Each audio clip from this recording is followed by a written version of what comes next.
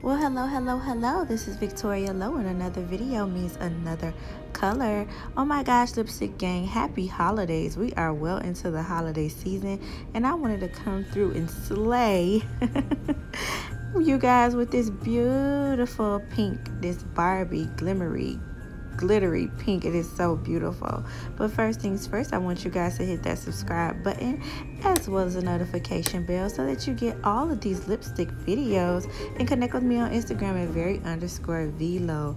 First things first, I am going in with my lipstick bullet base. Today is a lipstick bullet video. Yes, you guys. So I have been neglecting my lipstick bullet. So I promise, I promise, I'm back with a, a whole bunch of bullet videos.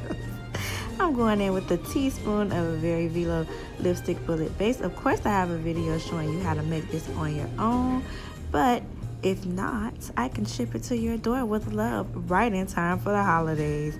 So I'm just going in and I'm putting that inside of my beaker. Yes, just like that. And I'm going to melt this down first. I'm doing things a little different today.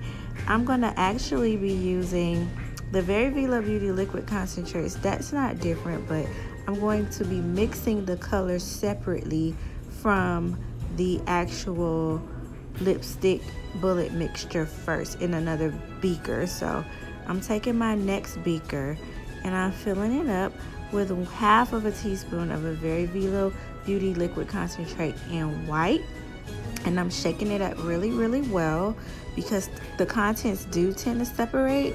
So I just wanted to shake it up and make sure that everything was mixed good. And I am going in with half of a teaspoon and I'm just gonna put that right into my beaker. Now I'm going in with a teaspoon of the pink liquid concentrate. I am you gonna see me basically separating it into two half teaspoons, but you know a half plus a half equals a whole.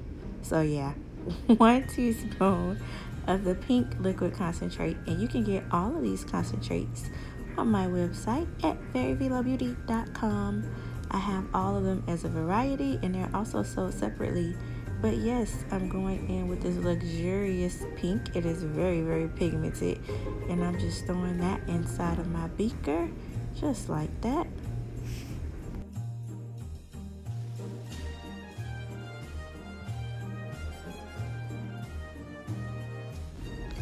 Now I'm going again with a pinch of the blue liquid concentrate and I'm using my mini spoons from TKB, my mini measuring spoons and that's the name of the measure. It is called a pinch. So I'm adding a pinch of that blue to the uh, mixture because of course we don't need that much blue. I just kind of want to make that pink get a little more depth and I'm doing something different today. Oh my gosh, you guys, I am adding mica to the bullet. I'm adding a dash using my mini spoons of the TKB Glimmer Beige to our mixture.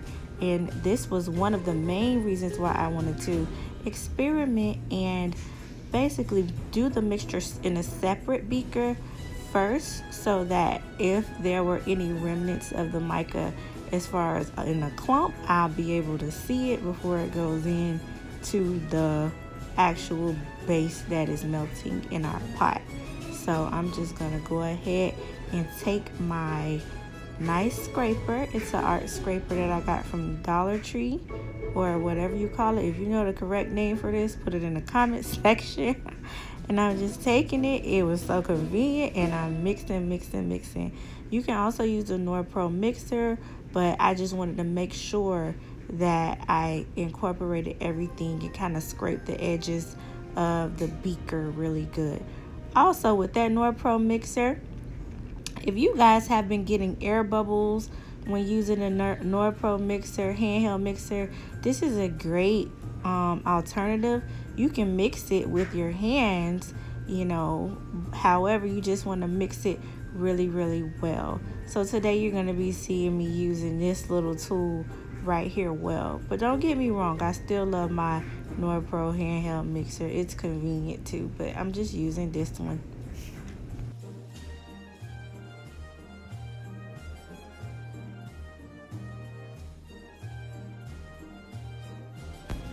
Okay, so to give this pink the extra pop that it needs, I'm going in with a quarter of a teaspoon of the FD&C. We're at number 27 Lake Dye, aka pink. And I'm just mixing that in good too. I'm just mixing it with my scraper, scraping the edges and the sides of the mini beaker before I pour it in.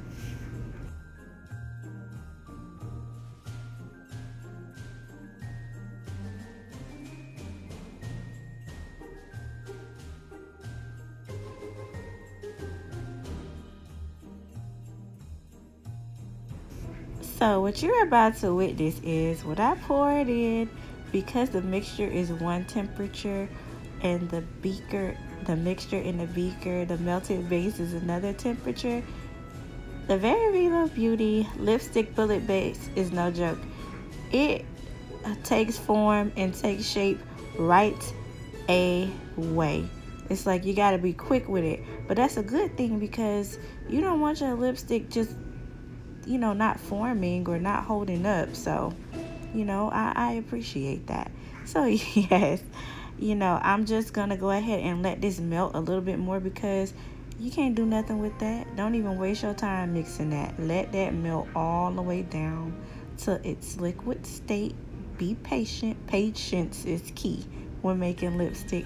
So that's what I'm doing. I'm just going to let that melt down. And in the meantime, I'm just going to go ahead and take some castor oil and just oil down my lipstick mold very well.